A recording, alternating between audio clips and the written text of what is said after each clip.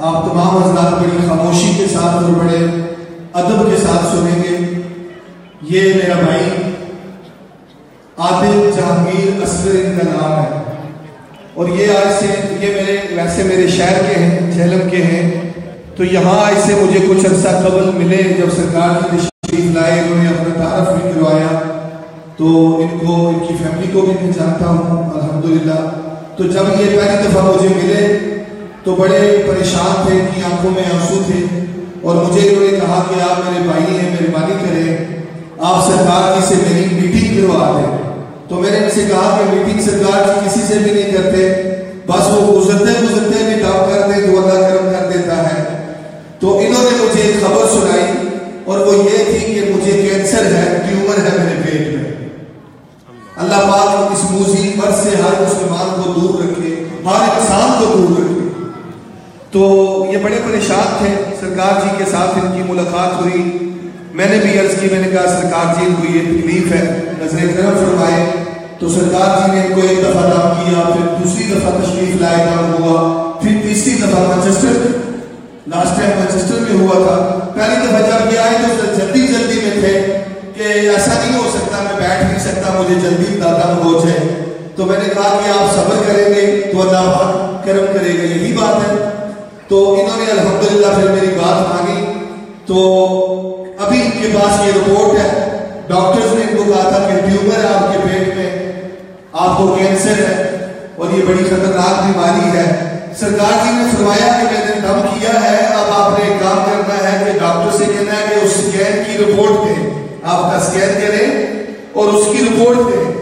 تو الحمدللہ الحمدللہ الحمدللہ وہ رپورٹ یہ یہاں کے ڈاکٹرز کی جو پوری دنیا میں اس وقت دیکھی جا رہی ہے۔ پوری دنیا میں لوگ دیکھ رہے ہیں اور یہ رپورٹ کیا ہے یہ ذرا آپ بتائیں آپ کو ڈاکٹرز نے کیا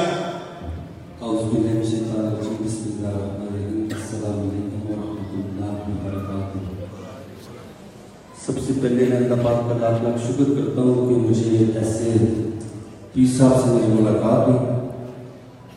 بھائی ناصر کا بات بہت زیادہ شکریہ ادا کرتا ہوں جنہوں نے مجھے اس وقت اٹینڈ کیا اور میری ملاقات کروائی اور دم کروایا اللہ تعالیٰ کا لاکھ لاکھ کرم ہے کہ آج سے ایک سال پہلے میرے گھر والے بھی کافی پریشان تھے، میں خود بھی کافی پریشان تھا کہ میرا ایک بلڈر کے اندر ٹیومر تھا۔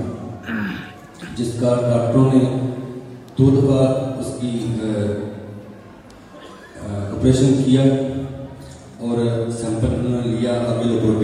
لیبورٹری کے تو مجھے بتایا کہ تمہارے اندر ٹیومر ہے پیٹ کے اندر۔ تو اس کے بعد میری والدہ پاکستان میں میری چھوٹی بیٹی کی شادی تھی۔ یہاں پہ میں نے اپنی والدہ کو بنانا چاہ رہا تھا کہ میرے حالات کچھ ایسے اچھے نہیں تھے کہ میں جا سکتا وہاں پہ کیونکہ میری والدہ میرے بچے کے لیے چاہ رہے تھے تو میں اپنے اپنی والدہ کو یہاں پہ بلایا۔ میری والدہ بول رہی تھی کہ مجھے یہاں پہ بلاؤ، میں تمہیں دیکھنا چاہتی ہوں کہ کل کچھ ہو نہ جائے، اس سے پہلے میں دیکھ لوں۔ اور میری والدہ یہاں پہ آئی۔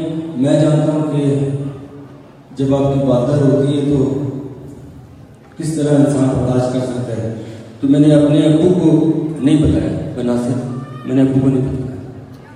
کیونکہ ابو امی سے بھی زیادہ پیار کرتے ہیں۔ تو امی جب یہاں سے گئی، چھ ماہ رہ کے دیکھے تو میں نے ان کو بتایا کہ ایسے میں سنا ہے دروازہ شریف کا تو میں وہاں جا رہا ہوں نے مجھے بولا کہ آپ جاؤ، وہ کلر سے کا انہوں نے سنا ہوا تھا، پاکستان۔ تو انہوں نے مجھے کہا، بیٹا، تمہیں جانا چاہیے۔ جا کے تم ایک دفعہ دم کرو، ان شاء اللہ کرم ہوگا۔ کیونکہ میں نے پاکستان میں انہوں نے سنا ہوا تھا، میں نے نہیں سنا جو بات۔ تو امی نے مجھے بتایا کہ میں آپ کے پاس یہاں پہ آیا۔ تو آپ نے اس وقت پہلی دفعہ، پھر دوسری دفعہ، تیسری دفعہ۔ پھر پاکستان فون کے اندر بھی حضرت صاحب سے کسی آگے امید تھے جو نے دیکھ منصب کیا انہوں نے دم کیا اس وقت تو بات یہ کہ اللہ پاک کا لاکھ لاکھ کرم ہے کہ مرشد پاک کی نظر سے ان کی دم کی وجہ سے آج میں باقی ہے فائنل رپورٹ یہ ہے کہ جی آپ کا قیمت نہیں ہے۔ اور ڈاکٹر چاہتے ہیں کہ تم دوبارہ آؤ دوبارہ چیک کریں۔ میں نے ان کو بولا کہ ابھی کوئی ضرورت نہیں آپ کو چیک کرنے کی اگر کرنا ہے۔ تو ایم آر آئی کریں جس کے اندر آپ کو کچھ نظر آئے۔ تو یہ ایم آر رپورٹ ہے۔ یہ پانچ میں پہلے کے لیے میں نے کہا کہ دوبارہ پھر کر کر چیک کرو تو کہیں کچھ نظر نہیں آ رہا تو میں پیر صاحب کا بہت زیادہ شکر گزار ہوں۔ اللہ تعالیٰ کی ذات کا بہت زیادہ شکر گزار ہوں کہ جس خدا نے مجھے ایسے درویش کے ساتھ مجھے میرے میرے میں کیا بولوں کہ میرے اوپر نظر پڑتی سکتا سبحان اللہ۔ میں میں کہتا ہوں